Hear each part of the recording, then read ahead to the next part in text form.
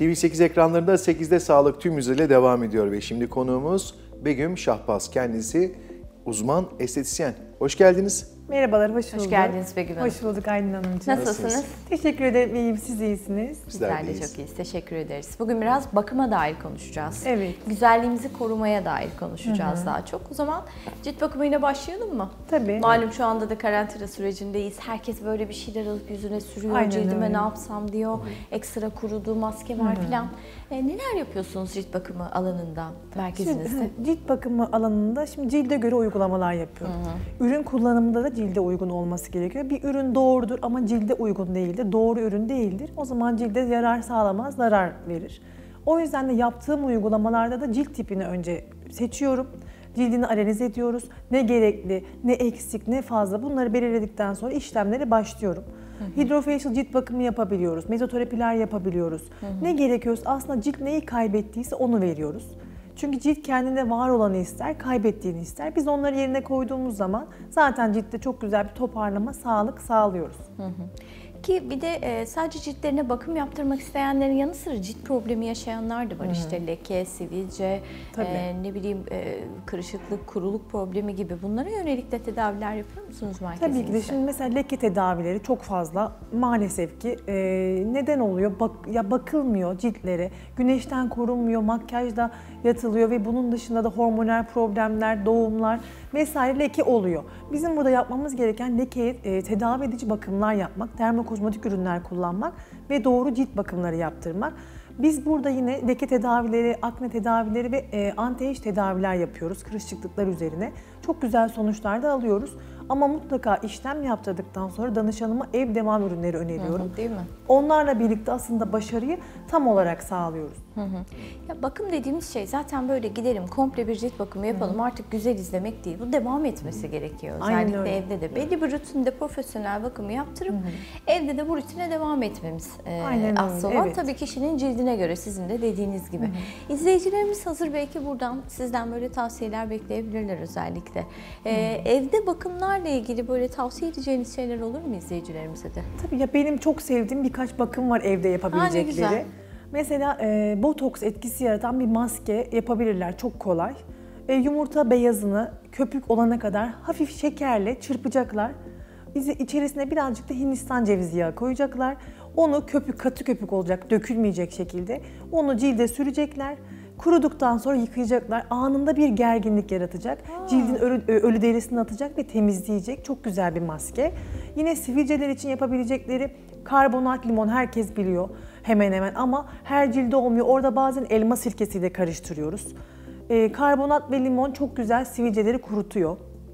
Leke içinde e, yapabilecekleri patatesi rendeleyip suyunu alıp içerisine biraz zerdeçal koyarlarsa bunu maske olarak sürerlerse o da aydınlatma etkisi yaratıyor.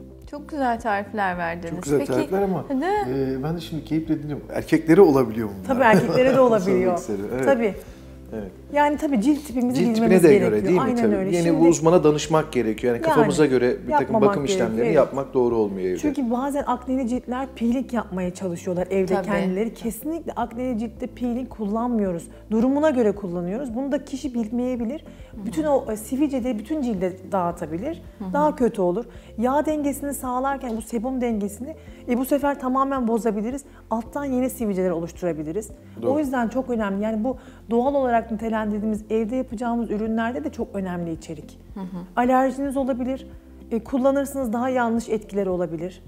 Ya da hassas cildi olanlar Aynen bunları öyle. Tabii, tabii. İşte rozesesi olanlar, burada kılcal damarları olanlar. aynen öyle. Yani yanlış şeyi maske, yapamıyor. yanlış ürünle e, ciltlerinde geri Bir de insanlar şunu olabilir. istiyorlar. Bir bakım yapayım her şey düzelsin. Maalesef öyle bir şey yok. Gerçekten yok. Çünkü dermokozmetik ürünler e, zamanla tedavi eden ürünlerdir. Bir süreklilik ister. Ama biz kozmetik ürünlerde mesela onu anlatmak istiyorum size. Kozmetik ürünlerde anlık etki oluyor ya. Parlama ya da işte onu hissediyorsun ama o geçiyor, tedavi etmiyor. Dermokozmetik ürünlerle doğru cilt tedavileri aylık, iki aylık medikal bakımlar eşliğinde olmalı. Ve evde devamlı doğru ürünü kullanmaya devam etmeliyiz. Temizlememiz, nemlendirmemiz hepsine devam etmemiz gerekiyor. Tabii kozmetik marketlerden bilinçsizce alınan ürünler bir makyaj ürünü gibi Evet. e, kişinin hatta cildine zarar da verebiliyor. Maalesef. Evde de, e, ciltlerinin temizliğiyle ilgili ve belki anti-aging hani biraz daha yaşlanma karşıtı olarak günlük yapmaları gereken şeyleri de tavsiye edebilir misiniz? Mesela kuru cilt ise olgun ciltlerde, kuru ciltlerde sivilce yok. Burada Türk kahvesini kullanabilirler. Balla. Türk kahvesini biz içiyorsunuz. Kalan terbiyenin içine bal koyuyorsunuz. Bunu cildinize sürüyorsunuz. Bekletip yıkıyorsunuz. Bu yumuşacık yapıyor cildi ve e, yine besleyip geriyor. Ama aktif sivilceli bir ciltte Türk kahvesini kullanamayız mesela. Onun güzel. yerine daha farklı şeyler kullanmamız gerekiyor.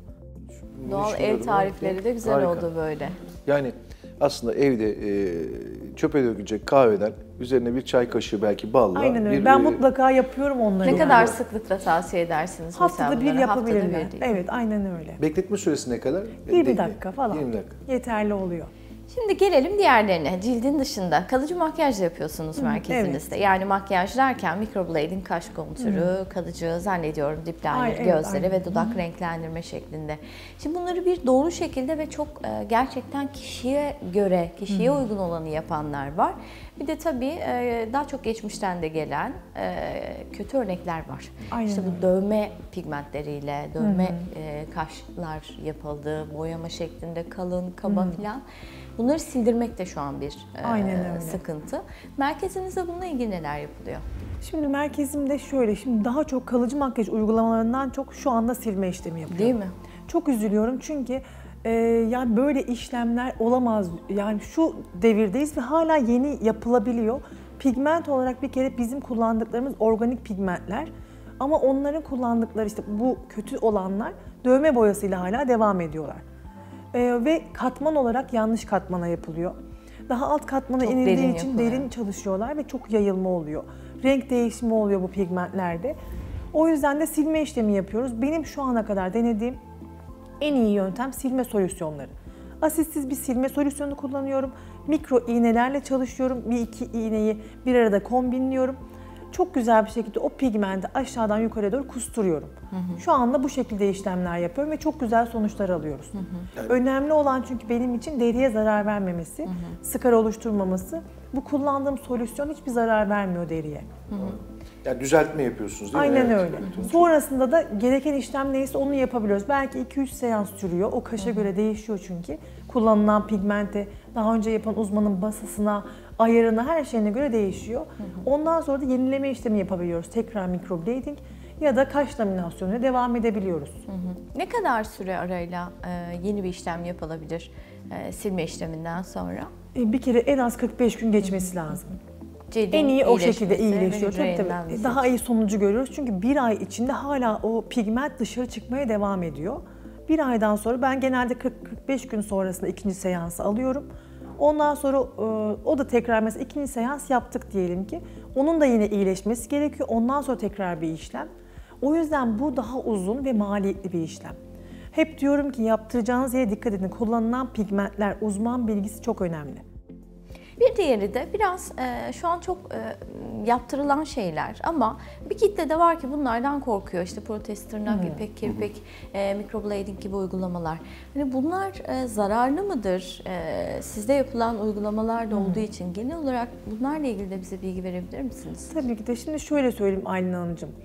İpek kirpik, e, protez tırnak, ondan sonra mikroblading, pudralama tekniği, dudak renklendirmenin hepsi için şunu söyleyebilirim. Bir kere zarar vermiyor ama burada uzmanın bilgisi, kullanılan ürünler çok önemli. Yani sizin buna bakmanız gerekiyor. Siz önce fiyat, gerçekten hani yanlış anlamayın beni ama önce fiyatını sormak yerine bir işin hangi pigmenti kullanıyorsun, hangi malzeme, o markaları sormak hakları. Ben hep diyorum sorun. Uzmanlık alanı ne? E, referansları var mı? Ne, e, hangi alanda uzman bu insan? Bunları soracaklar. Yani bu şekilde eğer doğru ürünlerle doğru çalışma yaparsa o zaman hiçbir zarar vermez. Biz devamlı kullanıyoruz. İpek kirpi kendimize de yapıyoruz, protez tırnak da yapıyoruz. Devamlı kullanıyoruz, hiçbir zarar vermiyor. Önemli olan malzeme kalitesi ve uzman bilgisi. Uzmanın yetkinliği, Evet. tecrübeli olması. Gerçekten çok teşekkür ediyoruz. Su gibi de aktı zaman. Yani Evet. o güzel tariflerin içinde ayrıyeten ben de Değil mi? Çok keyifli çok oldu. teşekkür ediyorum. Çok güzeldi onlar. Efendim TV8 ekranlarında 8'de sağlık tüm hızıyla devam ediyor. Bugün konuğumuz Sayın Begüm Şahbazlı. Kendisi güzellik uzmanıydı. Çok güzel konular konuştuk, çok güzel de tarifler verdiler. Çok teşekkür ediyoruz kendilerine. Ben teşekkür ederim.